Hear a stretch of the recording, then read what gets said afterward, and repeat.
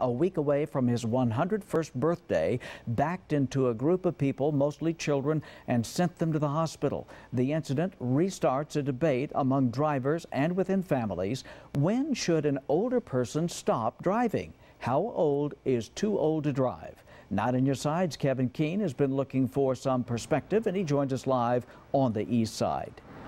Guy, good evening. This is a topic, a sensitive one, affecting everyone on the road and everyone on the sidewalk for that matter. The central issue here is keeping people safe, and some crashes involving aged drivers could have perhaps been prevented.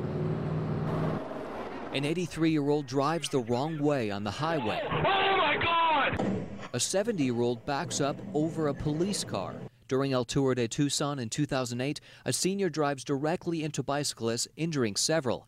And in LA Wednesday, police say a 100 year old man accidentally backs up, injuring 14, 11 of them children. I'm sorry. What goes through your mind when you hear a story like that? Frightening, very frightening. I hope I would realize before anything like that might happen that they would take the keys away. 88 year old Betty Garfield still has those keys, though the Tucsonan hasn't used them lately because of a hip injury. It took you off of the road, but you'd like to return. yes, my car is waiting for me. Anxiously waiting to regain independence, patiently waiting for a ride right now. Meantime, I am dependent on the uh, handy car to come and get me. So, when should a senior stop driving? Is there an easy answer to should they, should they not give up the keys?